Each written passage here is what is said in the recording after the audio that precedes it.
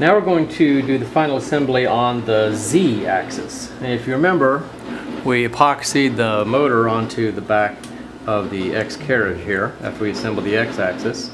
And we have also we had also created this uh, Z axis with the two glued uh, spindles here inside the sleeve, two bearings I should say for the spindle. And uh, of course our Z axis is also working just fine.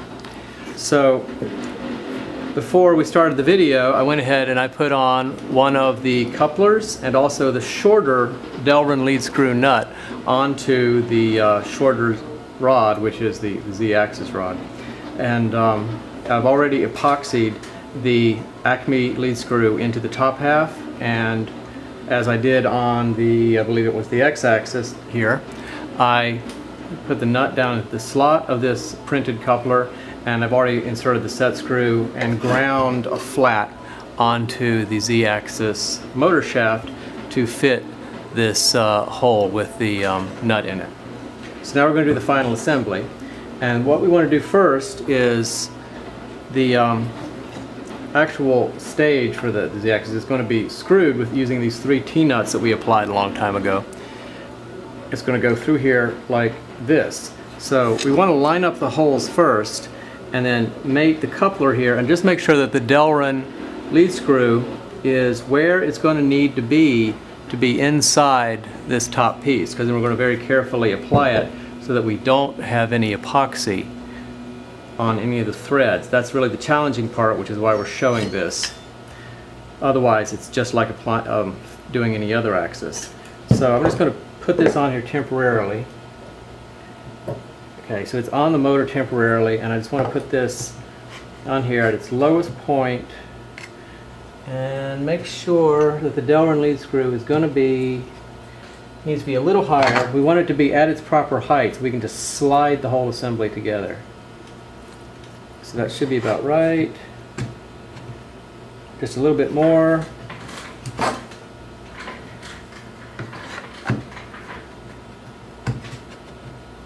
Okay, so now we can see that when, let me double check this, I'm going to put these screws through here just temporarily to hold it in place to make sure I'm at the right height. Okay, so these are at the right height, and now I can see the Delrin lead screw is actually inside the wood here. So it's at it's been screwed up the shaft to the right height to be inside the wood. So I'm going to leave it exactly where it is. I'm going to pull out these screws. And again, there are other ways of doing this, but this way is just to make sure that we can keep the epoxy out of the way of everything. So now that we've got that right, I want to go ahead and tighten up the set screw inside the coupler, lock it onto the motor, and okay, that should do that. And now we're going to be ready to actually assemble the Z-axis and glue this Delrin lead screw in place. So I've mixed up the epoxy here. Got my gloves on, ready to go. And uh, what we want to do is this, because it's a little more challenging because we can't we're not going to be able to lay this lead screw, you know, down on a piece of wood like we did on the X and Y axis and then just glue it around the edges. We've got to actually insert it into this hole here. Make sure in advance that this hole is in fact big enough for your lead screw nut. And so it's a little more challenging to make sure that we don't get any epoxy on the Acme threads. That would be really bad. So way, that's why I said when we're starting off, we're making sure that's right at the same height as the Z-axis when it's all the way down. That way we can just leave it and let gravity take care of it. And we've got it screwed to the correct height. So now we're just going to take a little epoxy and apply it around the rim of the top. We don't want to turn it anymore because that would change its height. We can turn it by turning the lead screw but not the nut. Because we don't want to turn it on the lead screw itself because if the nut turns on that, of course, it'll move and we don't want to do that. So I'm just applying it just below the top, not at the top. So as we put the wood on, it's going to scrape the epoxy down rather than like trying to put it inside the hole here where it would just get sort of shoved up or shoveled up by the rim of the um, lead screw nut, and then you might get a bunch of epoxy on the thread. So it's basically just thinking about the way the epoxy is going to flow so, does, so you don't get in trouble with it. So we're just going to push this in here and just lower this down and very carefully monitor what happens to the epoxy. If you see it getting to be too much, just get in there with a stick and wipe it off on the rim, around the rim. Okay. I'm just going to push it down the rest of the way. It's like another 16th of an inch. Sure. There we go. So it's in there now. And if I look at the side, I don't have any epoxy anywhere near those threads by doing it this way. There's epoxy all the way around the lead screw nut, but it hasn't dripped down onto the threads. And there's not enough of it there to worry about dripping down onto the threads. So there's a little crack up here because the it was slightly oversized. So we can actually now do the opposite, which is to turn that lead screw a little bit up. And I'm just doing that by holding this down and turning the lead screw such that it forces the lead screw nut upwards towards me. So now it's sticking out a little bit, if you can see it right there. And now I'm going to do the opposite. I'm just going to put some epoxy around the rim it at the top and I'm going to hold this still and rotate the lead screw so it sucks the lead screw nut back down into the hole.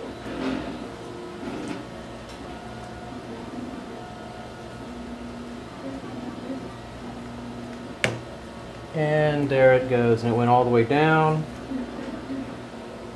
and that looks pretty good. And if you see any excess epoxy again, you know, stick and just kind of wipe it off. Although there's so little epoxy, if you do that, if you follow that method, it'll be epoxied in there securely, but it won't have big globs of it. To be running out all over the lead screw nut. So then before you do anything else, flip it upside down, take a look to make sure there's no excess epoxy that's going to get you in trouble. And it's all clean here. It's all clean up here. And now, get rid of these gloves and all my epoxy material.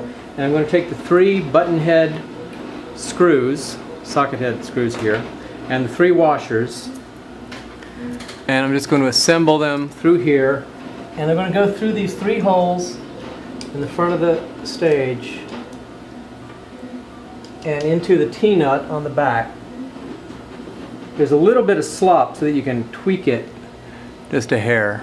So all I'm doing is just putting in the first one right there, and then, then one's going to be right here, and there's going to be a third one, of course, right there. And all that still looks well, and we're, then we're just going to leave it alone so that this epoxy can harden up. And that will be your Z-axis. We got the motor, we got the coupler, got a lead screw, and a lead screw nut up inside this top panel epoxied in place. And then the stage with the spindle on it, or what will be the spindle, has been screwed in place with these, these screws. And then I would just leave it, let it harden up, and you can tighten up those screws when, it, when it's all hard. Alright, so I'm just going to demonstrate drilling uh, the little pilot holes for all the wood screws that are going to actually hold the body panels together. This is actually the base piece. And I've got a 1 8 inch bit in there, and I'm using, on this drill press of course I have the laser, and you don't even have to go all the way through, you just need to go, you know, part of the way through just to start your screw going normal since they're such low, I mean they're such thin screws. So uh, just use a clamp you know, for safety and just one by one go around and do all of your holes on all of your frame pieces. Alright, so now the uh, the axis has uh, set up, hardened up. We're going to do the final assembly, which is done with the uh, Phillips head wood screw that I just dropped in here. Um, fortunately, I have more. So first thing we're going to do is just screw the front, or the, rather the, um, the the back and the back and front to the two sides, and that is only done first right here with the uh, two screws here, and then screws in the back. And after we've done all those and got those squared up, then we're going to attach it to the base. Whoops. You can also just start all of them for convenience sake. Remember we countersunk all these holes.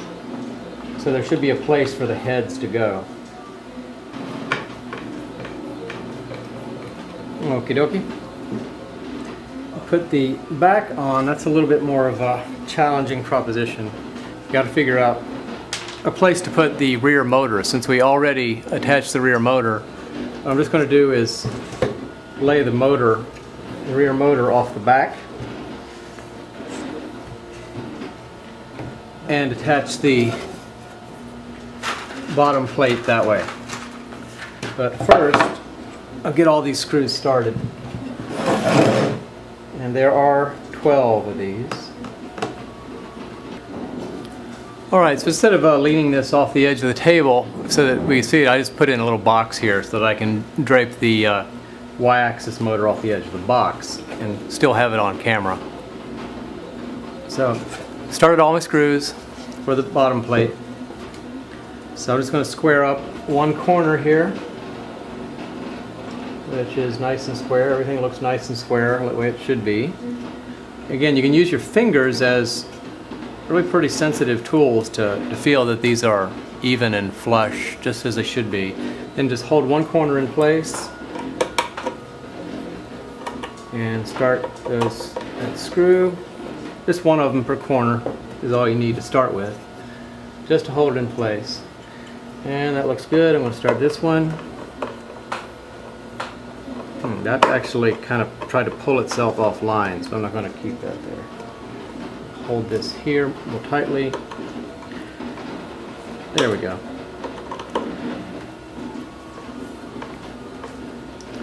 Okay, and for this one, there's nothing over here, so I can actually lay this on its side and do the next corner, which again, feels nice and square.